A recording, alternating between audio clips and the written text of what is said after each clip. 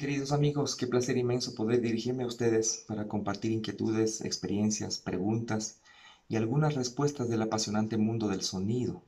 Mil gracias por visitarnos en la casa virtual del Conservatorio Superior Nacional de Música, que por medio de estas séptimas jornadas académicas nos hacemos presentes desde el centro del planeta en estos momentos de reflexión obligada por la salud, por la paz, por la vida. Sean ustedes bienvenidos a este encuentro. Mi nombre es Luis Patricio Lamoto, soy director de Orquesta Sinfónica, me gradué en la Universidad Simón Bolívar en Caracas, Venezuela. Tuve el privilegio de realizar estudios de perfeccionamiento musical en Camford Summer School of Music de Inglaterra y también la vida me llevó por Alemania, Holanda, México, Perú, Colombia y Estados Unidos. Todo este tiempo de compartir musical y cultural en estos países pude vivir y asimilar sus costumbres, sus expresiones sonoras, su idiosincrasia sus sistemas sociales, su particular manera de ver el mundo, que es definitivamente de importancia capital a la hora de interpretar las obras musicales de los grandes maestros compositores, que muchos de ellos son o fueron ciudadanos de estos países.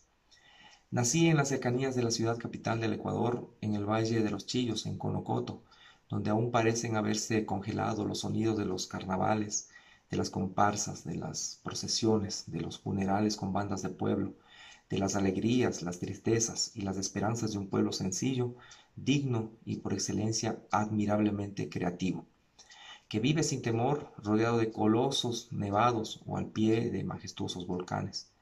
Desde, desde mis inicios en esta compleja profesión musical fui atraído por una sensación inexplicable, enigmática, intangible, que cautivaba mis sentidos infantiles y provocaba en mi ser más íntimo una sensación de sosiego, paz, tranquilidad, relajación, alegría y deseo de descubrir qué eran esas vibraciones que emanaban de la por demás desgastada radiograbadora de mi padre. Todos los días al mediodía, desde su lugar de trabajo, gracias a una estación local a varios kilómetros de mi ciudad, era cita obligada y un alto forzado a las actividades cotidianas para simplemente escuchar. Sin saberlo, esas vibraciones producidas por objetos sonoros y que se desplazaban a través de ondas, que despertaban en mí tanta curiosidad, varios años más tarde supe que se llamaban notas o sonidos musicales, y la obra que había escuchado por días era el bellísimo concierto para dos violines en re menor de Johann Sebastian Bach en su segundo movimiento. Esta pequeña anécdota marcó en mí el camino que debía seguir en la vida, las personas con quien tuve el honor de instruirme musicalmente despertaron y cultivaron en mí lo que seguramente ellos ya habían cultivado y desarrollado, destrezas, habilidades, talento, todo un mundo de posibilidades humanas, sociales, de vida por algo llamado sonido. Los seres humanos convivimos con la música en todo momento y esta es el producto intelectual mejor elaborado a través de vibraciones específicas denominados sonidos temperados o comúnmente llamados sonidos musicales. Parafraseando tal acontecimiento, podemos afirmar que existen pueblos sin idioma propio, pueblos sin territorio propio, pero no existen pueblos sin sus propias canciones. El término música, con todo el aparataje que le acompaña, es acuñado en América Nativa a raíz del encuentro de los dos continentes en 1492 su connotación, semántica, propósito y objetivos fueron por demás distintos a las concepciones sonoras y tímbricas de nuestra América ancestral. La música, como la conocemos y la reconocemos hoy en día, es un arte que nos hace disfrutar de tiempos placenteros, nos estimula a recordar hechos del pasado, nos hace compartir emociones en canciones grupales, conciertos o tribunas deportivas que hayamos asistido, tal cual una banda sonora de una película protagonizada por nosotros mismos. Estos resultados se producen a través de complejos y sorprendentes mecanismos neuronales. Las vibraciones sonoras despiertan y provocan en nuestro cerebro la liberación de dopamina, como también lo hacen la comida, las drogas o el sexo. Las áreas claves que se ven involucradas como resultado de este estímulo sonoro son las del control y la ejecución de movimientos. Una de las hipótesis postula que esta es la razón por la que se desarrolló la música, para ayudarnos a todos a movernos juntos. Las personas cantan y bailan juntas en todas las culturas. Sabemos que lo hacen hoy y lo seguiremos haciendo en el futuro. Podemos imaginarnos entonces que lo hacían también nuestros ancestros alrededor del fuego hace miles de años. Las expresiones sonoras y tímbricas, elaboradas con un orden y propósito definido, parecen tener un pasado extenso, tanto o más que el lenguaje verbal. Prueba de, ello son los hallazgos arqueológicos de flautas construidas con huesos de ave, cuya antigüedad se estima de 6.000 a 8.000 años antes de nuestra era, o más lejanos aún. Otros instrumentos sonoros que podrían preceder al Homo sapiens. En tierra ecuatoriana se cuantifican más de 2.000 variados y diversos instrumentos aerófonos, cuyo esplendor data de varios milenios antes del encuentro de las dos culturas.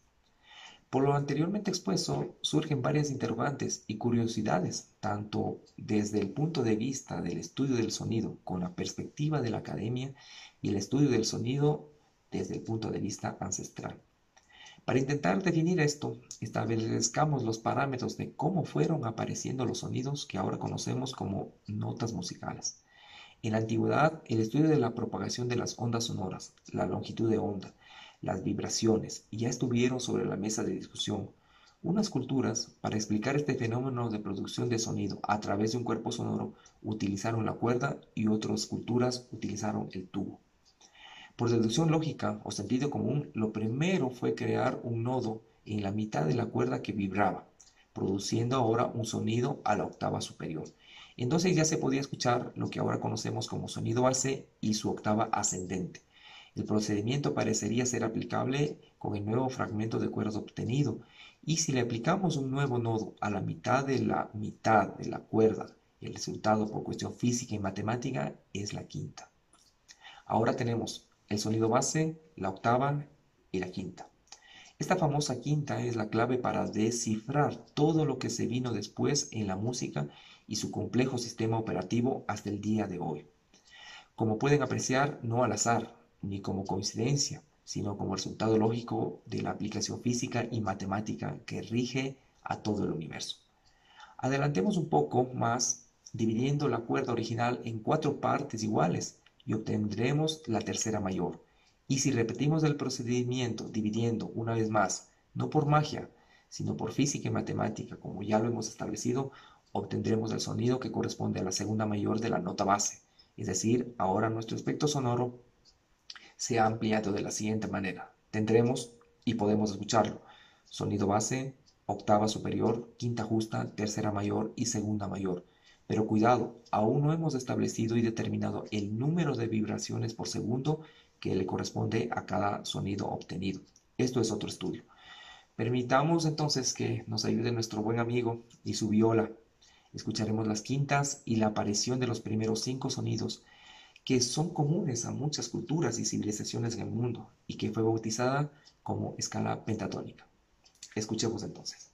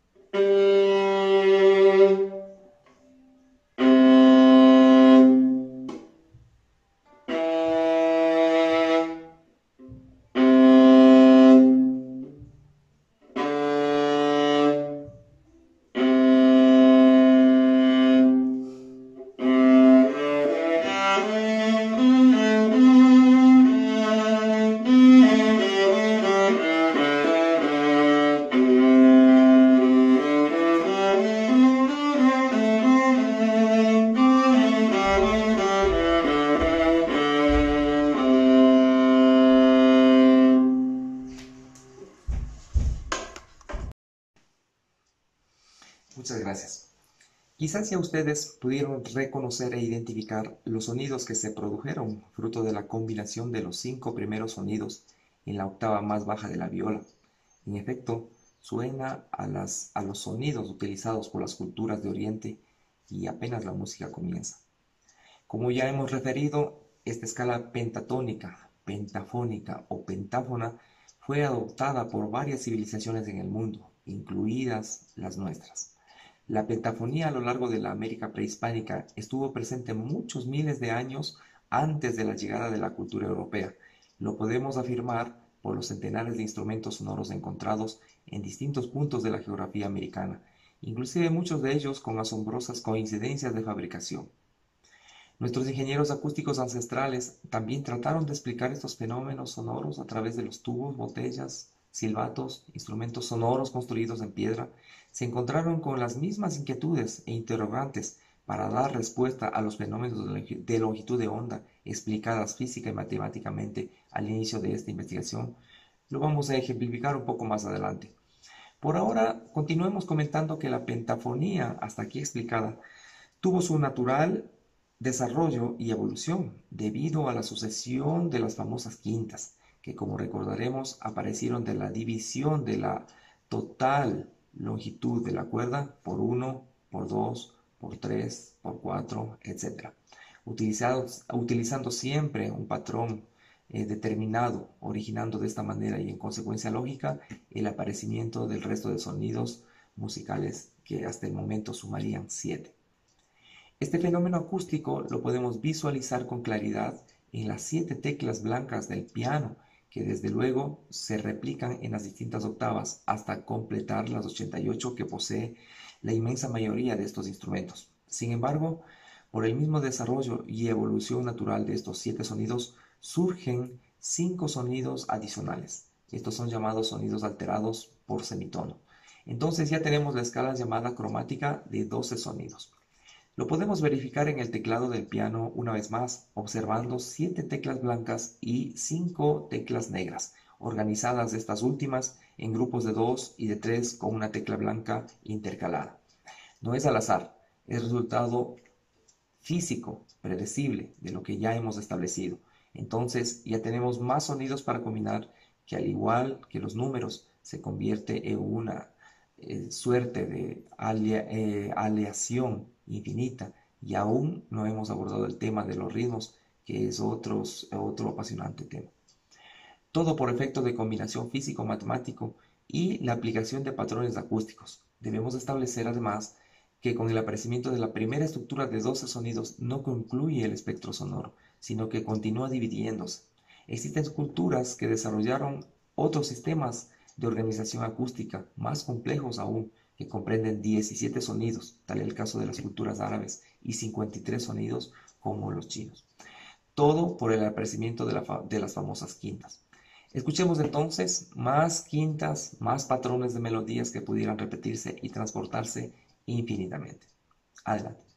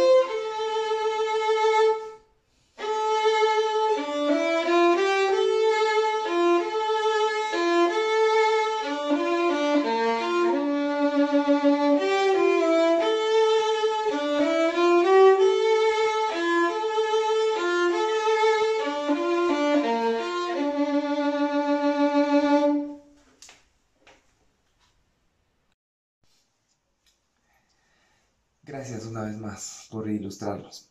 Recordemos que al tratar de explicar los fenómenos sonoros debido a la longitud de onda y sus múltiples divisiones, muchas culturas antiguas tomaron como base el estudio de la cuerda o del tubo. No se tiene registros de hallazgos con relación a instrumentos cordófonos en la América prehispánica, o quizás aún no los hemos descubierto. Sin embargo, con el encuentro de las dos culturas resultó una simbiosis de conocimientos y entre ellos las mixturas de concepciones sonoras, cuyo origen acústico primigenio común, como ya lo hemos demostrado, fue la pentafonía. Prueba de ello, aún sobreviven en nuestros días flautas de huesos de cóndor, flautas de carrizo, de bambú, que se resisten a desaparecer y más aún, encuentran día a día más ejecutantes. Es el caso de la flauta traversa de hueso, que con siete agujeros originales evocan ese origen común de antiguo y nuevo continente. En la siguiente melodía se puede apreciar claramente la supremacía de la, pentafonía sobre la escala diatónica o cromática de 12 sonidos.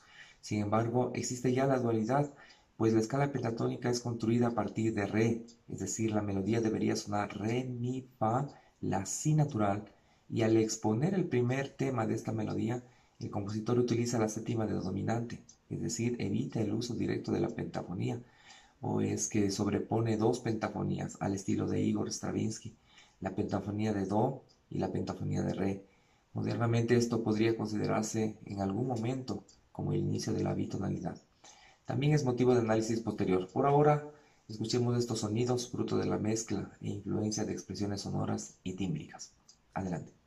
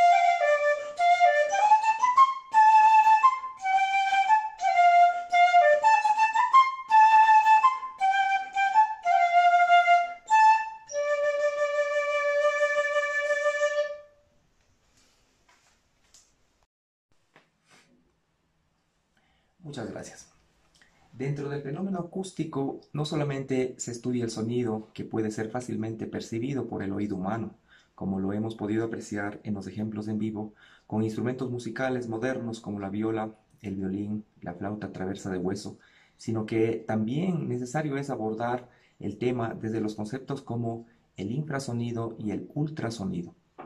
El infrasonido son aquellas frecuencias sonoras que son inferiores a las que el oído humano es capaz de percibir, 20 hercios, pero para algunos animales es totalmente perceptible y lo utilizan como forma de comunicación a grandes distancias, mientras que el ultrasonido son las ondas que se encuentran por encima de la audición percibida por el ser humano, a unos 20.000 hercios. A lo largo de la América originaria, nuestros ingenieros acústicos ancestrales a propósito o por curiosidad, experimentaron con estas frecuencias, audibles e inaudibles.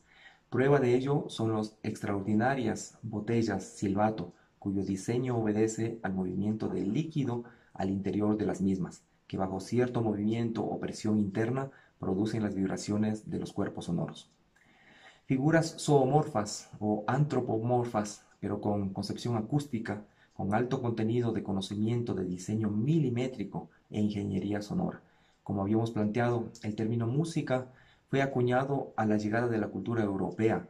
Nuestros pueblos originarios usaban las expresiones sonoras para ritos sagrados de sus deidades, ofrendas chamánicas o imitación de sonidos de la naturaleza.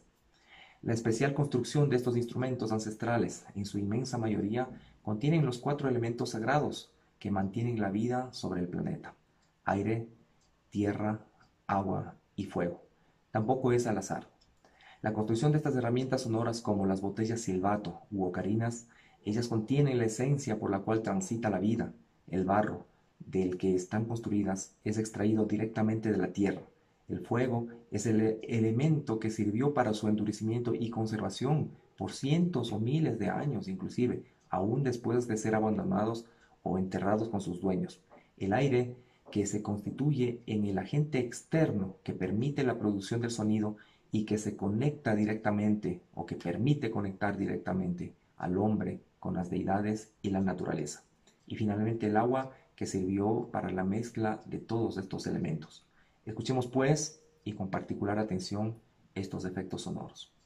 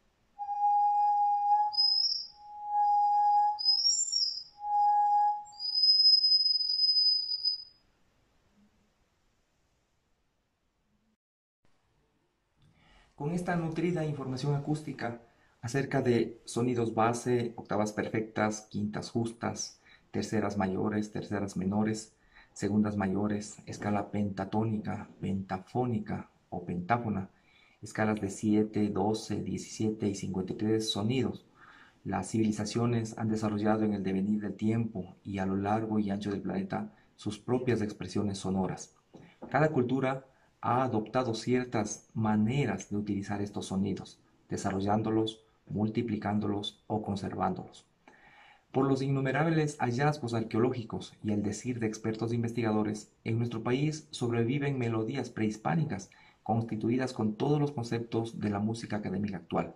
El mejor ejemplo es la melodía incaica Yupaichishka, que significa adorable. En esta melodía, una vez más sentiremos la presencia de las quintas, conformando la escala pentatónica sobre el sonido re. Es verdaderamente curioso cómo este instrumento salta directamente de la nota fundamental a su tercera menor, luego a su cuarta, luego a su quinta y culmina en la octava superior, es decir, nuevamente el re. Con esta estructura es muy fácil obtener melodías, aun cuando no se posean conocimientos profundos de composición avanzada. Quizás ese era otro de los propósitos que los ingenieros acústicos ancestrales eh, determinaron para la construcción de este instrumento. También en este instrumento este instrumento permite obtener los sonidos de la escala cromática mediante combinaciones digitales complejas, pero eso será el motivo para encontrarnos y discutirlo en otra ocasión. Existen varias teorías acerca del origen de este ancestral instrumento. Para unos, la ocarina se remonta a la América prehispánica, donde ha sido arqueológicamente documentada en varias culturas, como la cultura maya, es decir, en México, Belice y Guatemala. Por lo general, fabricada en arcilla de tipo greda, hueca en el centro y de diferentes tamaños. No sobrepasa los 15 centímetros. Es aproximadamente de largo de la mano. Es un instrumento habitual en Bolivia, Perú, Ecuador, Colombia, Venezuela, norte de Chile, norte de Argentina, Mesoamérica y México. Otras teorías le otorgan origen europeo. Una tercera vía la considera procedente del lejano oriente asiático. Enigmático resulta, por tanto, el asombroso parecido con las ocarinas andinas, que sorprenden con la increíble similitud sonora de las dos culturas milenarias. Escuchemos entonces una ocarina ecuatoriana que aun cuando no es de museo y mucho menos de hallazgo arqueológico, conserva su diseño de construcción acústica original.